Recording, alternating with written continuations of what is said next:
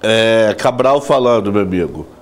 Só para complementar, 75% de chance de subir 0,75.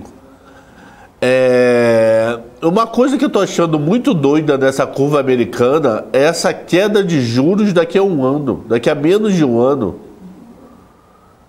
O mercado Olha, não está otimista isso... demais com a recuperação de inflação? Não acho que é otimismo isso não, acho que é exatamente o contrário, acho que é um certo pessimismo. Essa inflação uh, é mais uma preocupação recorrente, uh, decorrente, melhor dizendo, de uma recessão uh, do que efetivamente uma, uma vitória para com a inflação.